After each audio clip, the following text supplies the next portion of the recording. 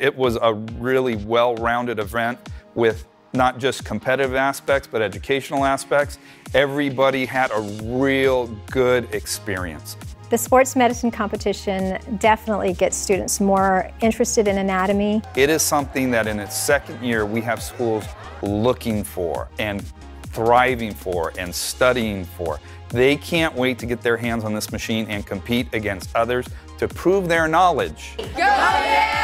Definitely in the next few years we're going to find a way to make the funding happen and we'll, we'll have one in our high school and our kids will be more prepared because of it.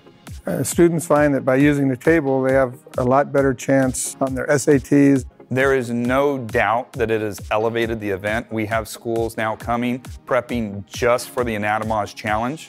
Absolutely love it. It's such a great way to learn the anatomy of the human body. They just couldn't believe how easy it was to utilize. Just had so much fun spinning the human body and they've given up their weekends they've given up their spring break and it all pays off. I mean they took first place and so congratulations to them. Uh, there's no doubt that this inspires them to become better.